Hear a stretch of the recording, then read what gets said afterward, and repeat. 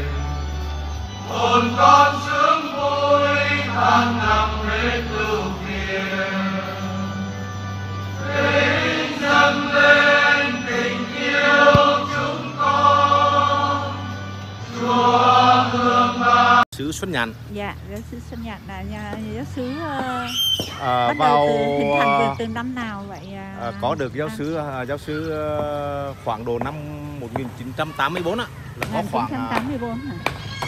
20 gia đình vào à, khu vực này để lập nghiệp Dạ, rồi sau đó là nâng lên thành giáo họ vào năm 1990 dạ, tới năm 2002 lúc bây giờ là có cha xứ Tiên Khởi à, là cha Miguel Đỗ Hồng Quý về để à, chánh sư là ngài là vì linh mục chánh sư Tiên Khởi của giáo sư Xuân Nhàn.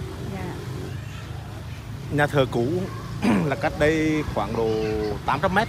Dạ, do cái dự án đường cao tốc Long Thành dầu dây thành phố Hồ Chí Minh đi ngang qua dạ, giáo sứ mới chuyển à, ra khu đất này giáo sứ xây dựng vào tháng mùng 8 tháng 12 năm 1000 năm 2008 dạ, và khánh thành vào tháng 5 năm 2010 cách đây uh, 3 tháng giáo sư kỷ niệm 20 năm thành lập giáo sư.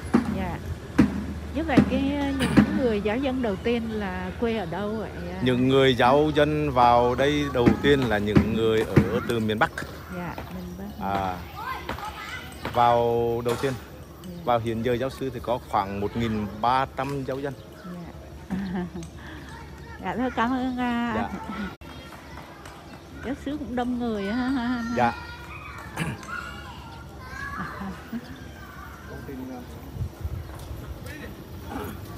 tháp chuông ở sau có nhà sứ dạ phía sau có nhà sứ Dạ. rồi à, có nhà giáo lý dạ rồi bên cạnh bên này thì ờ, nhà dòng ờ,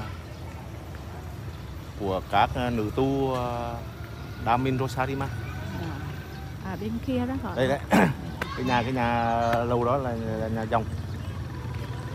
Và cha tiên khởi ngài cũng trước khi đi thì ngài cũng đưa cho một khoảng đất để các vị về lập dòng. Rất cảm ơn à. dạ dạ. Dạ